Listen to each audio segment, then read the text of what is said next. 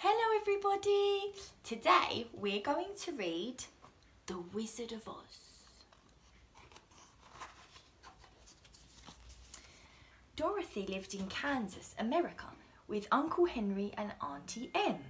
Her little dog, Toto, also lived with them. Dorothy and Toto were in the house together when along came some very nasty weather.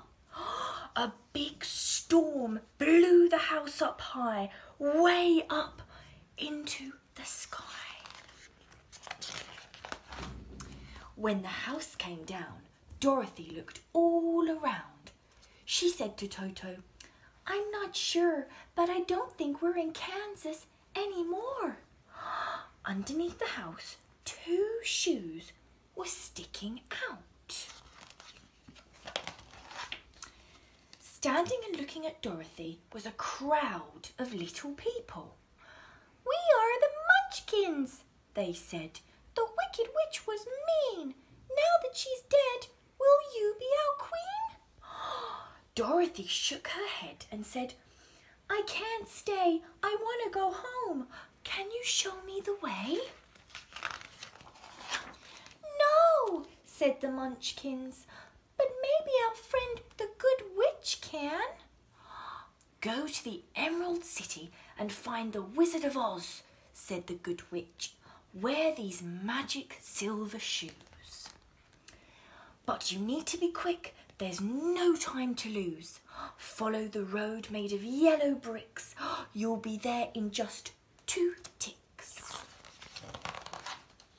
Dorothy and Toto set off down the yellow brick road. Soon they met a scarecrow. My head's full of straw, he complained.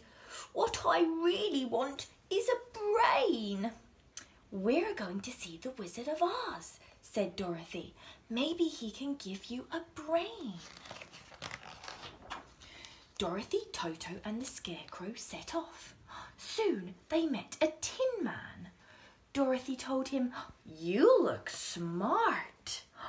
But I'm unhappy, he said, because I have no heart.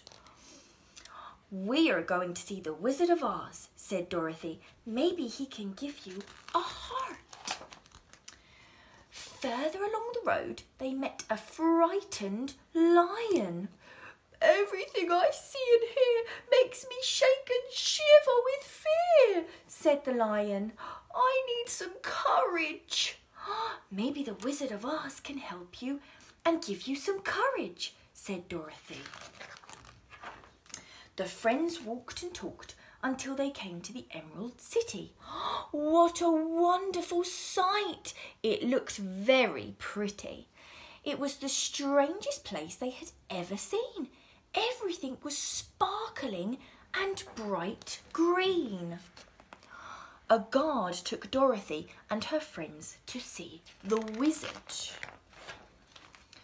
The wizard sat in a great big chair and asked them all why they were there. I want a brain, said the scarecrow. I want a heart, said the tin man. I want some courage, said the lion. And I just want to go home, said Dorothy. The wizard put new stuffing inside the scarecrow's head. You will feel better now you have a brain, he said. And he put a red heart in the tin man's chest. It's a kind heart, he said. This is the very best. Then he gave the lion a special magic drink. This will give you courage, I think. Dorothy stood there quietly, feeling all alone. Please, she said to the wizard, will you help me to get home? The wizard replied, Just do as I say, and the magic shoes will take you away. Click your heels three times and say where you want to go. Dorothy did as he said. With a whoosh and a whirl, through the air she swirled. All at once, Dorothy and Toto were back in Kansas. Auntie Em hugged her tight and said, Where have you been? to the land of Oz, said Dorothy. Let me tell you what we've seen. And that's the end. See you next time. Bye bye.